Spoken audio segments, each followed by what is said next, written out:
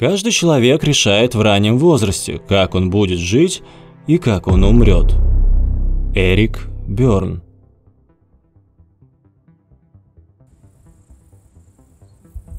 Как же она тебе нравится?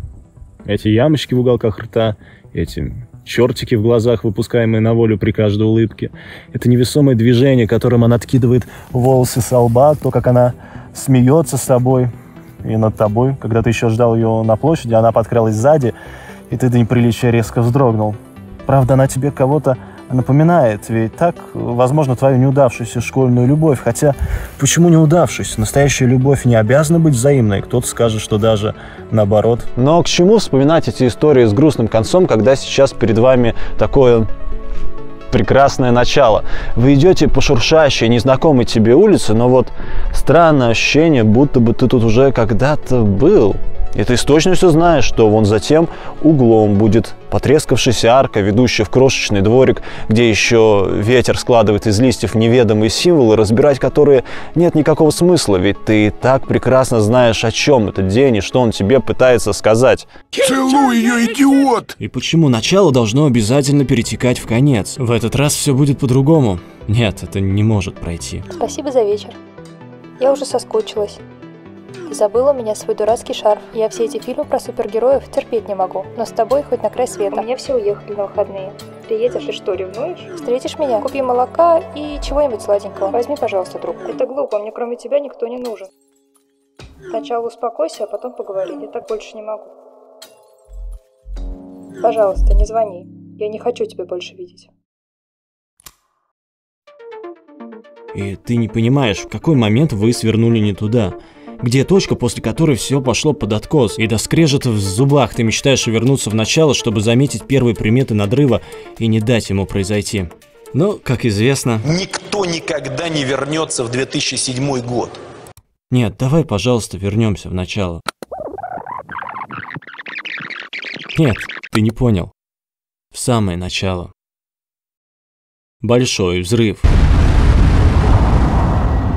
Именно он на сегодняшний день является главенствующей версией возникновения начала развития Вселенной. Около 14 миллиардов лет назад посреди ничто, хрен пойми откуда, образовался крошечный комок невероятного объема энергии. Конечно, настолько плотное скопление энергии жаждало разрядки и бросилось разрастаться во все стороны, формируя наш необъятный космос. Так Вселенная продолжает расширяться и по сей день, и делает это все быстрее и быстрее. Теория Большого Взрыва отлично согласуется с наблюдениями поддерживается подавляющей частью космологов, однако Однако не обошлось и без нескольких «но».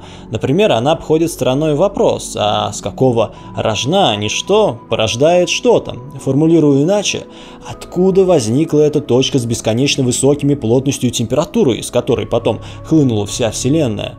Что было до нее? Однако существует гипотеза альтернативная Большому Взрыву, которая снимает этот вопрос. Называется она Большим Отскоком. Да, она тоже не лишена белых пятен, но в последние годы завоевывает все больше сторонников в рядах научного сообщества. В ее центре идея о цикличности Вселенной. О том, что после периода расширения в какой-то момент Вселенная все-таки обратит свой ход вспять. Ткань пространства-времени начнет сжиматься, и галактики, до того дня убегавшие от нас, начнут приближаться и крупнеть в окулярах телескопов. И в конце концов Вселенная сожмется в первоначальную точку, однако не сможет может стабильно пребывать в этом состоянии и звонко отпружинит обратно, и расширение Вселенной повторится снова. И так цикл за циклом Вселенная будет то расширяться, то сжиматься, то производя на свет звезды галактики, то вновь коллапсируя их. И если Вселенная находится в этом состоянии вечно, то всякий большой взрыв предверял бы не какой-то там загадочное ничто, а просто предыдущий цикл. И велик соблазн подумать, это что же получается. Если гипотеза верна, и в следующем цикле из тех же самых начальных условий все повторится в точности как в этом, вплоть до сегодняшнего дня, и та шуршащая улица, и рука, отбрасывающая волосы со лба. И в следующем выпуске Вселенной в такой же прекрасный день, как сегодня, мне также суждено вот сидеть и таращиться в экран – вот здорово-то. Не совсем. Никто не отменяет случайность, квантовую неопределенность, незначительное отклонение в начальных условиях, которые приведут к грандиозным расхождениям в обликах двух вселенных. В следующей серии может не возникнуть ни тебя, ни меня, ни нашей галактики, ни этих чудесных глазированных сырков, ни какой-либо жизни вообще. Но, если таких циклов бесконечное множество, это означает, что все, что только может произойти, произойдет. И ты в той же самой футболке, в том же самом настроении, что и сейчас, когда-нибудь снова будешь вот так вот сидеть и смотреть это видео. И знаешь, что самое пикантное? Если Вселенная в ее циклах бесконечна, это будет происходить бесконечное количество раз. Ты будешь смотреть это видео вечно.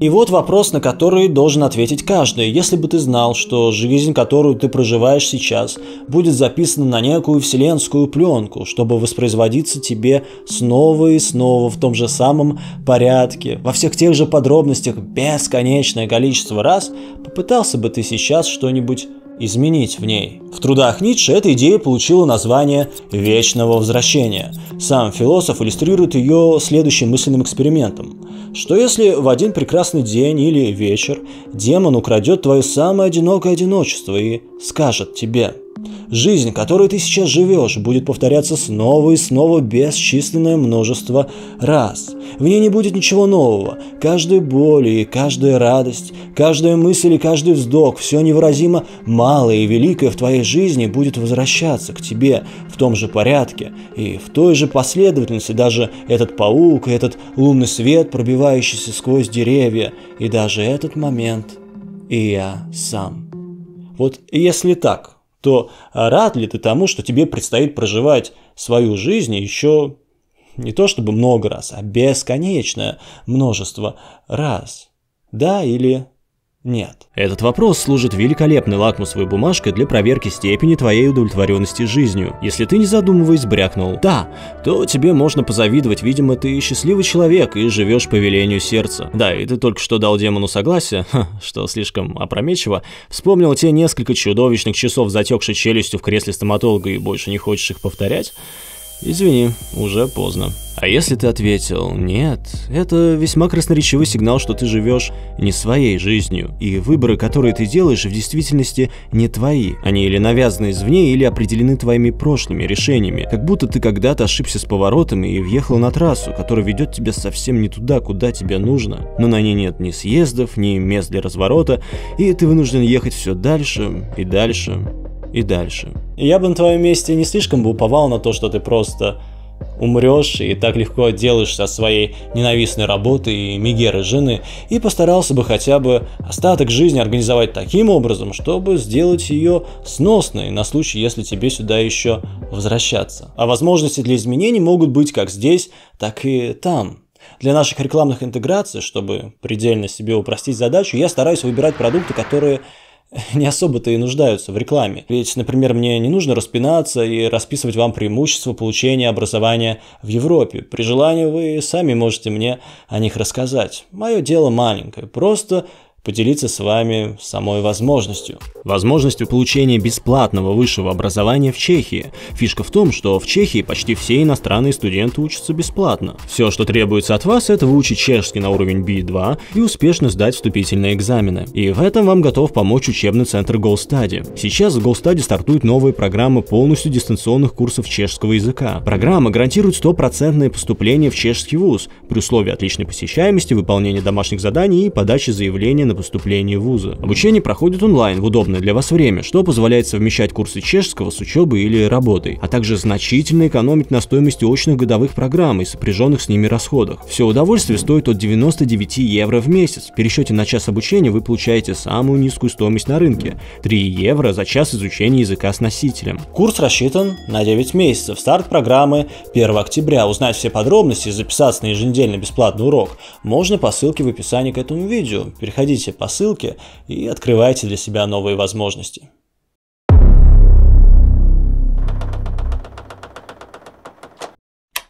Но если посмертное возвращение лишь плод фантазии престарелого философа, то прижизненное вполне реально. Ведь для того, чтобы переродиться в тот же сценарий и те же обстоятельства, совсем не обязательно умирать. По крайней мере, в заправду. И это я сейчас тебе докажу. Карма – понятие из восточной философии, которое мы неправильно понимаем. Для нас, детей западной цивилизации, это приблизительно то же самое, что христианское воздаяние. Сделал доброе дело и некое трансценди... Трансан... Транс... Блять. Кто такие тексты пишет? Трансцендентная сила в умилении одаривает тебя ништяками. А вот если согрешил, жди леща. Получается, для нас карма это некий верховный нравственный регулятор, выражающий себя в отклике на наши действия. Но на деле все совсем не так. Слово «карма» в санскрите означает «действие». То есть карма – это и есть наши действия, поступки, решения, а не реакция на них Бога, Вселенной или кого-нибудь там еще. И уже карма, наши поступки, как это обычно бывает, приводит к каким-то определенным жизненным последствиям, в том числе к необходимости совершать какие-нибудь дальнейшие действия, чтобы расхлебать все то, что ты наворотил. Например, ты похвастался перед девушкой, что у тебя уровень английского, скажем, C2 или C3 или C4, ну, в общем, где-то между ректором Оксфорда и Шекспиром. Ну, приукрасил немножко свою четверку по инглишу в седьмом классе, с кем не бывает. Это мы назовем условно действием номер один. И теперь, когда она, очаровательно похлопав глазками, просит тебя помочь ей с рефератом на английском, ты вынужден согласиться, потому что в противном случае тебя выведут на чистую воду. Это уже действие номер два. И теперь ты как оголтелый бегаешь и ищешь лингвиста, чтобы перепоручить ему эту задачу. Это уже действие номер три. И так эта цепочка действий может продолжаться без привлечения до конца твоей жизни. В итоге все узнают о том, что ты солгал, и слух об этом позоре разнесется по всему белу свету, и ты так и умрешь одиноким стариком со скудным уровнем английского. Так и подмывает назвать эту историю примером плохой кармы, что не совсем правильно, просто главный прикол, что с точки зрения буддизма любая карма нежелательна, потому что так или иначе затягивает нас в гонку за миражами, и именно эта гонка приводит в движение колесо сансары. Сансара переводится как блуждание или странствование и обозначает круговорот перерождений. Индуисты и некоторые буддисты понимают круговорот перерождений буквально и верят, что в конце жизни их ожидает переселение души. При этом, если набрать неудовлетворительную карму, можно загреметь в мир животных, голодных духов и даже адских существ. Более научно продвинутая версия, и на этой версии мы остановимся подробнее, гласит, что никакого загробного бодрствования может и не быть. Тем более, как заявил сам Будда в одном из своих интервью еще за много-много столетий до современных нейрофизиологов и прочих когнитивистов, у человека отсутствует какая-либо постоянная самость или психический центр. Поэтому не стоит рассчитывать, что даже если перерождение все-таки состоится, ты останешься собой хотя бы внутренне, несмотря на досадное тело ежика снаружи. По этой версии перерождение происходит не из жизни в жизнь, Oh shit.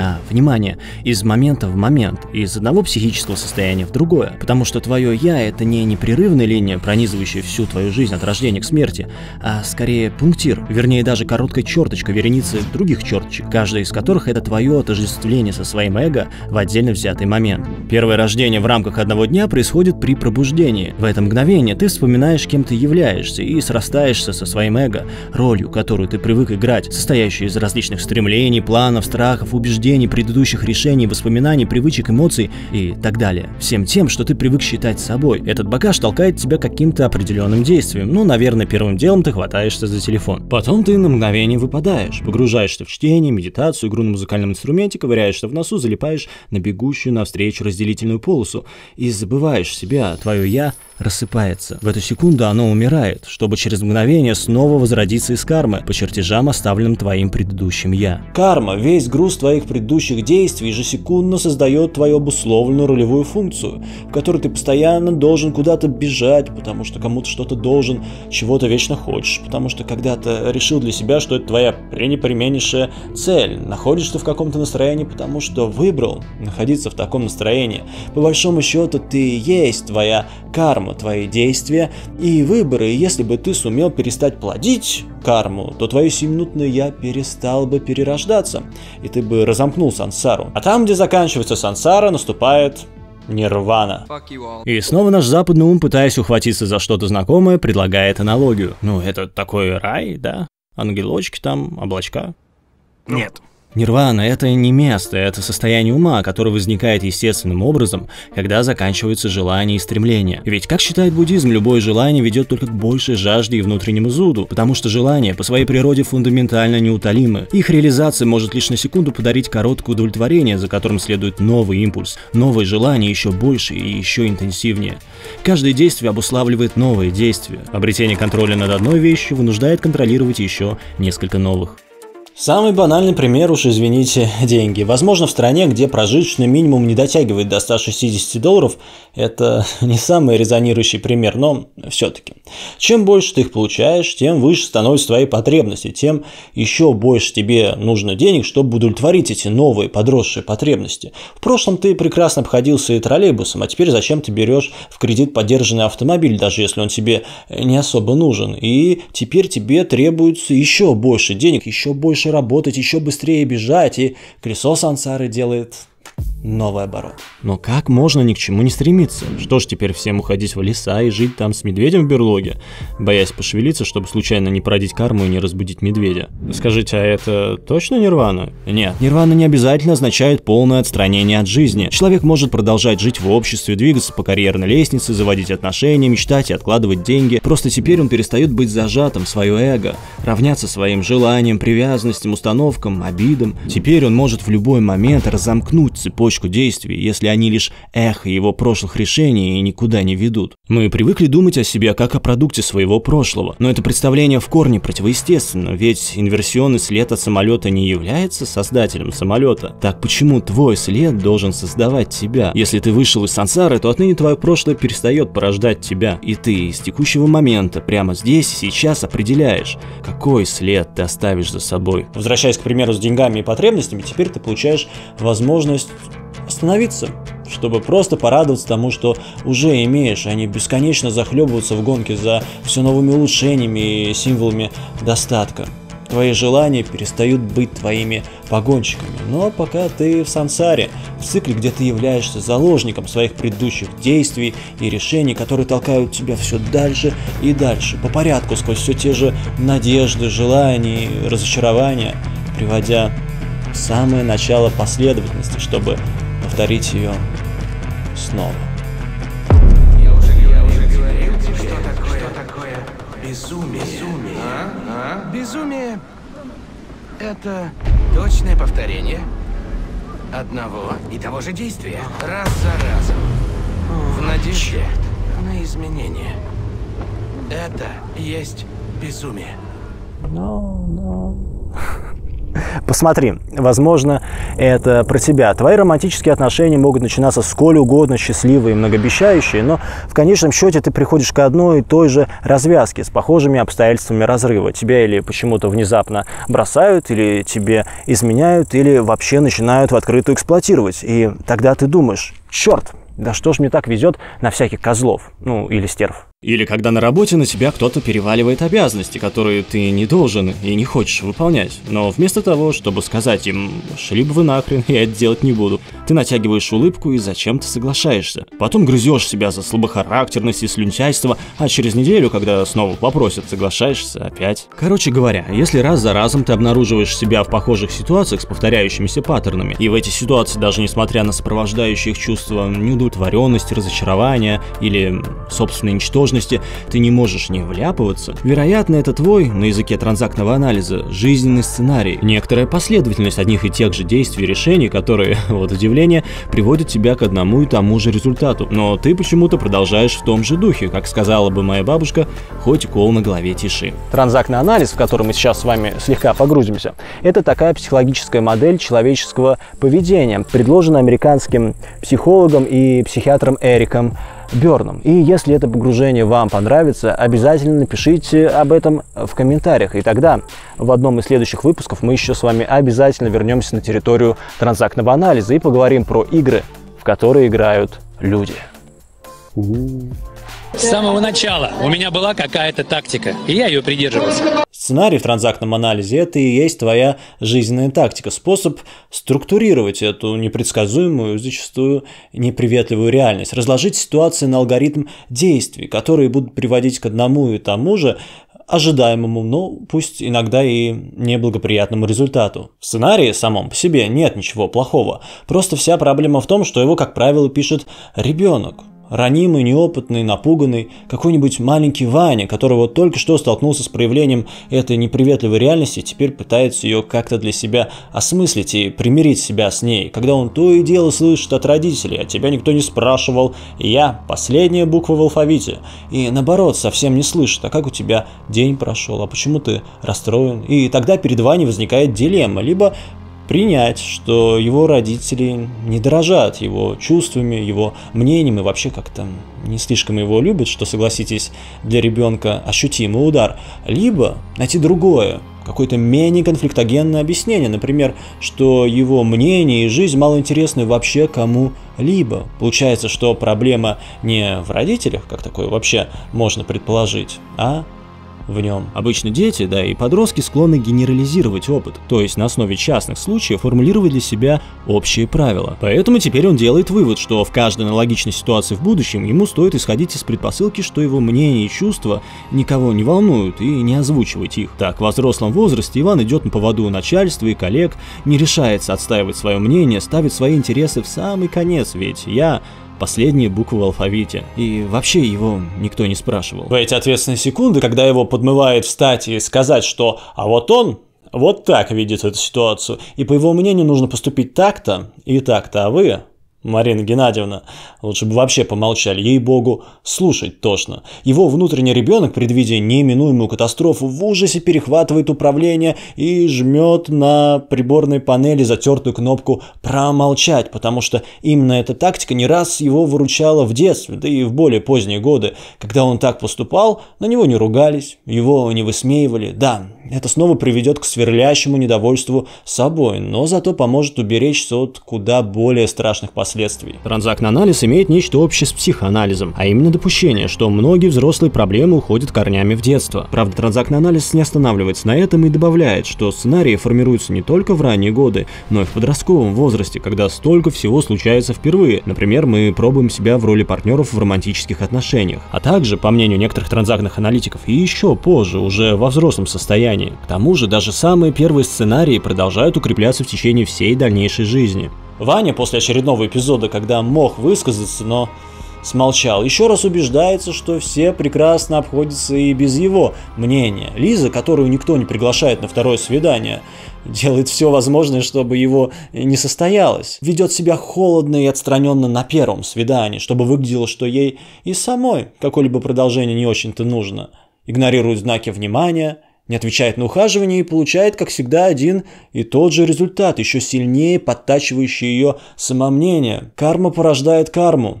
Колесо сансары делает новый оборот. Проигрывание сценария сопровождается выборочным принятием информации извне, только той ее части, что подтверждает наши убеждения. То есть сценарий буквально формирует наше мировосприятие, выступает в качестве оптического прибора, выхватывающего для нас лишь узкий клочок окружающей действительности. Потому что если ситуация будет рассмотрена объективно и с позиции взрослого, а не боящейся быть отвергнутой девочки, то Лиза увидит десятки подтверждений, что с ней все нормально, что она так же, как и ее подруги, заслуживает счастливые отношения, ею интересует, интересуются, ее воспринимают всерьез, и тогда сценарий рассыплется и перестанет определять ее поступки. Но опять же, без сценария мир воспринимается чересчур хаотичным и опасным, поэтому защитные механизмы исправно отсекают от нас неугодную часть реальности. И если есть способ ухватить сценарий и понять, что выборы, которые ты делаешь, вынуждены и обусловлены твоим предыдущим опытом, то это как раз тот самый способ, который по странному стечению обстоятельств предлагает и буддизм. И это то, о чем я говорю, наверное, уже в каждом выпуске. Пора переименовать канал. Осознанность. Все предельно просто. Если ты научишься замечать момент, когда в тебе вспыхивает новый импульс, то у тебя появится выбор. Либо идти у него на поводу, либо не идти у него на поводу, не подчиняться ему. И ты станешь хозяином ситуации. А если же ты прозеваешь момент, то тогда этот импульс завладеет тобой, притворится тобой, станет неотделим от себя. Ты весь превратишься в это побуждение, оно захлестнет тебя с головой, приводя шестеренки твоего сценария в движение. И чтобы научиться осознанности, ее нужно тренировать, как тренируют мышцы в спортзале. Безоценочно, как бесстрастный исследователь наблюдать за возникающими мыслями, реакциями на ситуации, вспыхивающими побуждениями, затем, как твое здесь и сейчас, твое настоящее, твоя очередная вселенная распускается перед тобой из пустоты. И будь ты внимательный, внимательнее, ты бы наверняка успел поймать за руку этого внутреннего ребенка, который уже тянется к большой красной кнопке, и объяснить ему, что вещи, которые работали, защищали нас в прошлом, больше не релевантны. И да, малыш, тогда ты все придумал очень здорово и умно, и действительно, наши капризы в детстве помогали нам получить от мамы чуточку больше внимания и удержать ее рядом чуточку дольше. Но это совсем не означает, что теперь, когда ты взрослый, это по-прежнему единственный способ сохранить отношения с дорогими тебе людьми. И сцены ревности, которые ты закатываешь из отношений в отношения, только делают хуже, только плодят непонимание и обиды, только способствуют тому, что однажды она не выдержит и оставит себя. И то, чего ты боялся больше всего на свете, все-таки произойдет. И ты со мной согласен на сто процентов, ведь отношения должны строиться на доверии. Это же прописная истина, которую ты так часто слышал, и с которой невозможно не согласиться. И в этот раз ты поступишь обязательно поступишь по-другому и выберешься из этого гребаного колеса. Нет, в этот раз все будет по-другому. Тем более рядом с тобой теперь она. И боже, как она тебе нравится, эти ямочки в уголках рта, эти чертики в глазах, выпускаемые на волю при каждой улыбке, это невесомое движение, которым она откидывает волосы с лба, то, как она смеется, как она смеется. Впрочем, она тебе кого-то напоминает, но к чему эти истории с грустным концом, к чему, к чему они, когда сейчас перед вами такое прекрасное начало, вы идете по шуршащей, незнакомой тебе улице, но кажется, вы тут уже были или нет? Вот она, потрескавшаяся арка, ведущая в крошечный дворик, где еще ветер и листья. Не обращай внимания, в этот раз все будет по-другому.